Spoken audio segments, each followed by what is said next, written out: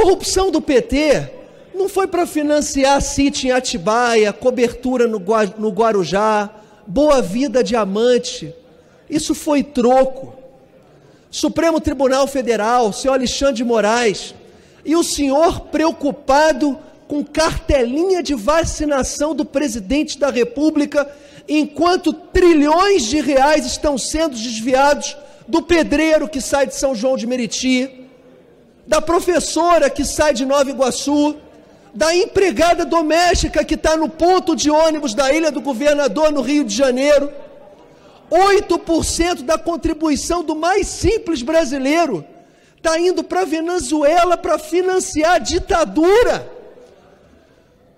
Eu estou me segurando aqui para não dizer um palavrão, mas vocês são uns belos de uns vagabundos, vocês são uns ladrões, vocês são usurpadores de recursos dos mais simples brasileiros ministro Alexandre de Moraes, e o, e o senhor suspende Telegram.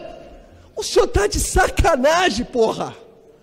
O senhor está desviando dinheiro da empregada doméstica para enviar para a Venezuela, para matar pessoas. E esse Congresso Nacional não faz nada, senhor Arthur Lira. É um boneco do posto, porra.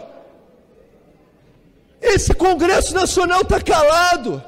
81 senadores e 513 deputados feitos de palhaço.